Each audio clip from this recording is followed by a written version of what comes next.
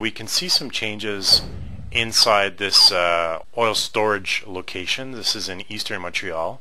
And uh, what we have here are uh, large reservoirs that are used to, uh, uh, to store oil and, and transfer onto these uh, cargo ships. So let's take a closer look at this. Quite interesting what's happening. So as I mentioned, this is quite an interesting area. Here we have these oil reservoirs that are, that are in the eastern part of Montreal. And if I zoom in a little bit, you can start to understand what's happening. Now these uh, oil reservoirs typically have a lid on top that moves up and down depending on the, the, the amount of oil that's contained in it. So as they draw the oil out of these reservoirs, the lid moves down, and as they fill it up, the lid moves up to the top. So in, in the case of the radar energy, what's happening is when when these reservoirs are, are lower, the radar energies penetrating into the cylinder, bouncing around and reflecting pretty strongly, depending on how deep the, the reservoir is, uh, stronger in some cases uh, th than others.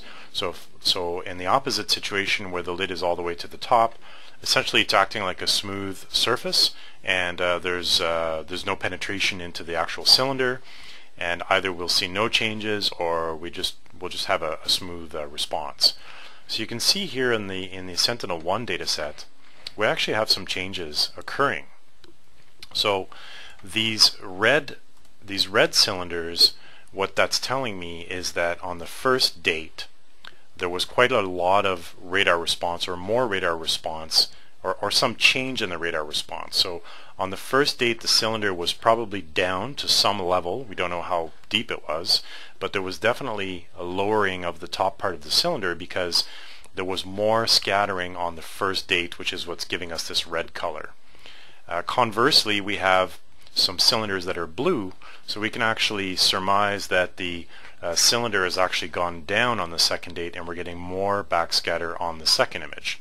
So we can actually tell something about the changes that are occurring in these uh, cylinders here, which is quite an interesting application for, uh, for change detection.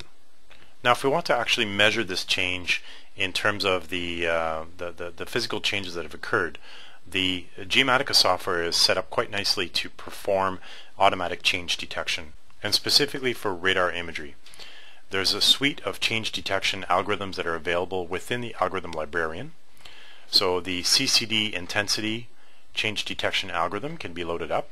So what we would choose is the second date as our image to look at changes. So we'll pick the April 12th as our second image. And then the reference image will be the first image. So in this case we'll pick the March 7th and we're careful to select the HH channel. We can run this analysis. This takes a few minutes. I've already run this analysis to, to uh, speed it up here. And uh, so I've got the two color multi-view loaded up between the March 7th and the April 12th image.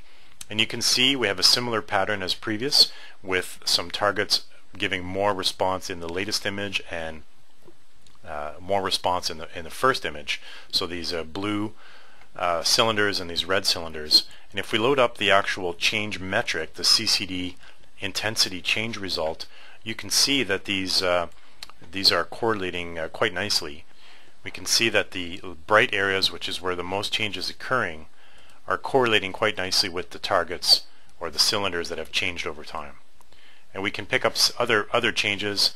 As you can see here, we have our our ships that are obviously changing from one date to the next because of their uh, they've changed in terms of the location. And some of the ice features are, are quite uh, noticeable as well. So hopefully that gives you a sense of how easy it is to work with Sentinel-1 imagery.